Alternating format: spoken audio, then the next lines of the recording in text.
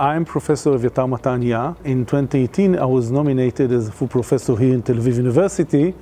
And one of the most important things that I did is to establish the new, very unique program, the Cyber Politics and Government MA program. What is um, unique in the program is that the uh, teachers and the students learn together. And it is a very important in our program because we study new issues where we find only very few uh, articles, papers, and books about. It uh, combines Israeli students with international ones. It's a hybrid program, and the heterogenic class is very interesting for all the students. Second, uh, we bring uh, not just uh, theorists, but also people with hands, you know, hands on the job.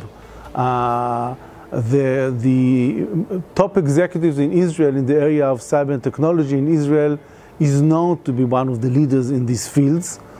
And Tel Aviv University is one of the hubs of, uh, that uh, created and established the policies and the strategies of how Israel became, built its ecosystems of cyber, how Israel uh, succeeded to build the National Cyber Directorate, how the government approached the whole issue. Tel Aviv University and its professor were the heart and the core of the, uh, of the thoughts about this and the ideas.